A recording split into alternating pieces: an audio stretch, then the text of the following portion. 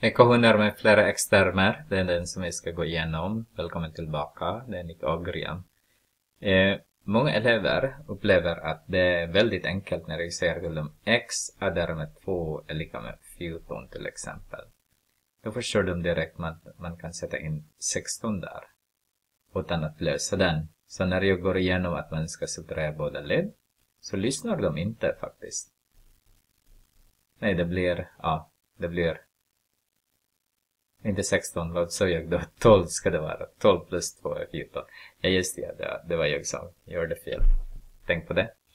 Eh, de lyssnar inte faktiskt när, eh, när, jag, när jag försöker att gå igenom med dem den här grundläggande eller allmänna eh, metoden då. Så till exempel x subtraherar med eh, 4 eller kan med 10 till exempel. Så de, de lyssnar inte när jag säger att man adderar båda led med 4. Så.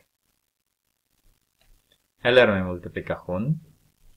3x är lika med eh, 12 till exempel. Så man behöver dividera med 3. Båda led. Så har jag x är lika med 4.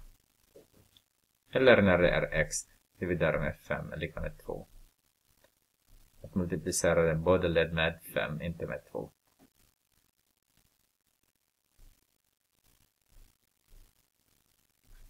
Så har vi x är lika med 10. Men sen kommer det ekvationer med flera externer så blir det jättesvårt för dem. Det blir jättejobbigt. Till exempel, vi har 2x adderar med 2 är lika med x adderar med 5. Det blir jättejobbigt för dem att lösa sådana här ekvationer. Men om man har följt eh, allmän metod då, att lösa ekvationer, då blir det inte komplicerat. Ska vi försöka, vi ska börja hela tiden med positiv och negativ, så kan vi subtrahera det med 2, båda led. Så har vi 2x redan där, är lika med x adderar med 3. Vad händer med den här x där då? Jo, vad man kan göra med den och det finns x här också. Vi ska ta bort dem nu. Det allmän metod säger att man ska flytta den som är minst. Eller man ska göra noll den som är minst. Så just när den minst är, är x, så jag skulle göra den till noll. Så minus x där, minus x där. Så har jag bara x kvar, är lika med den här blir noll. Då har jag bara 3. Mm. Det är som en allmän metod säger. Ska vi titta på några exempel nu då.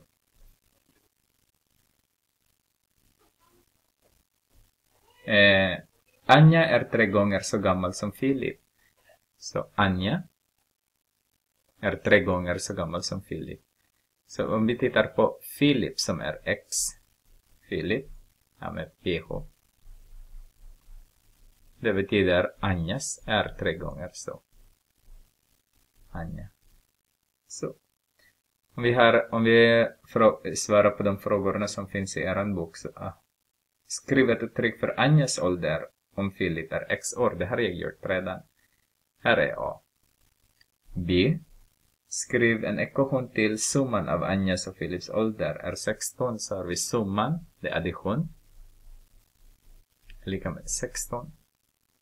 Sen vi skulle, hur gamla är de? Så vi ska lösa den här nu. Så vi har 4x är lika med 16 och sen dividerar vi med båda leden 4. Så x är lika med 4 år. Så om vi svarar på den frågan, Filip är, är 4 år. Och Anja tre gånger så, så gammal så blir det 12 år. Och tillsammans här är de 16 år. Mm. Ska vi titta några andra? Jag ska bara klistra den som finns i er bok. Här står i er bok. Om jag köpte ett äpple, en bulle och en kaffe för 37 kronor. Bullen kostar 5 kronor mer än äpplet. Så det står här. Som ni ser kanske. Där. Aha. Där är min penna. Så. X är äpplet. Och kaffet kostar så mycket, dubbelt så mycket som äpplet. Där. Och vad kostar äpplet då? Så har vi x är med x är med 5 är med 2x är lika med 37 kronor. Det var den. Så har vi 4x är med 5 är lika med 37. Subtraherar vi båda led med 5. Så har vi 4x är lika med 32. Dividerar vi båda led med 4. Så har vi x är lika med um, 8 kronor. Det var en dyr äpple. 8 kronor kostade det.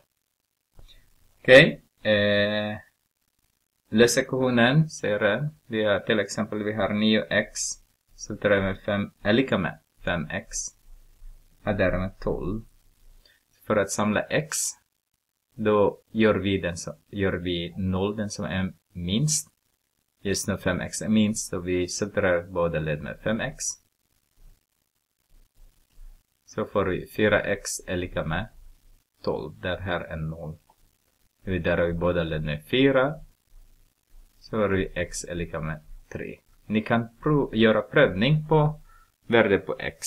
Så har vi 9 multiplicerat med 3 är det lika med 5 multiplicerat med 3 är det med 12 då. Så det här är 27 är lika med 15 är det med 12. Det är också 27. Då har vi gjort rätt där. Okej, okay. ska vi titta en annan ekvation till så har vi 60 subtraherat med 4x är lika med 2x. Kom ihåg, det minsta vi ska flytta är eh, det minsta de som vi ska göra till noll. Eller flytta brukar man säga också.